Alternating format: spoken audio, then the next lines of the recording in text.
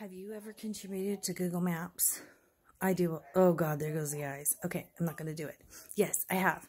I am a level 7 Google Map contributor. I just got my latest reward. I get a pair of socks. Pretty cool, huh? And I've already gotten two, count them one, two, separately, of course, movie tickets.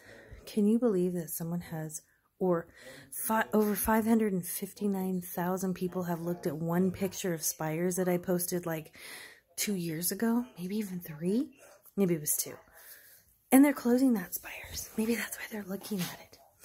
You should contribute. I've contributed everywhere I go. I love it. People do look at you kind of weird when you're taking pictures, like at the pharmacy or, you know, Target.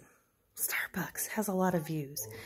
Um, Subway, all kinds of cool stuff. Like, you should do it.